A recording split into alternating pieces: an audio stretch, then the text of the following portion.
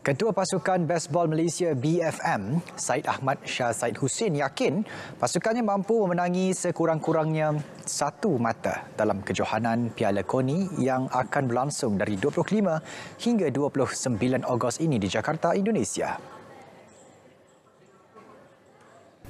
Tegas beliau, kejohanan itu penting bagi BFM untuk memperbaiki teknik serta melonjakkan kedudukan ranking. And hopefully kita learn a lot from this uh, team, especially uh, negara-negara jiran kita uh, daripada uh, teams like Indonesia, uh, Singapore, um, dan hopefully we will give out our best lah untuk uh, get the best result from this uh, tournament. Sementara itu, pemain baseball negara Muhammad Arif Mustaqim Mat Safar berharap latihan rapi yang dijalani selama setahun sebelum ini mampu membantu mereka melakar kejayaan di Indonesia. So kita akan masuk dalam ranking list, world ranking list. So ini sebagai kita punya kata pencetus lah untuk next generation supaya boleh sambung lagi kita punya apa yang kita dah buat.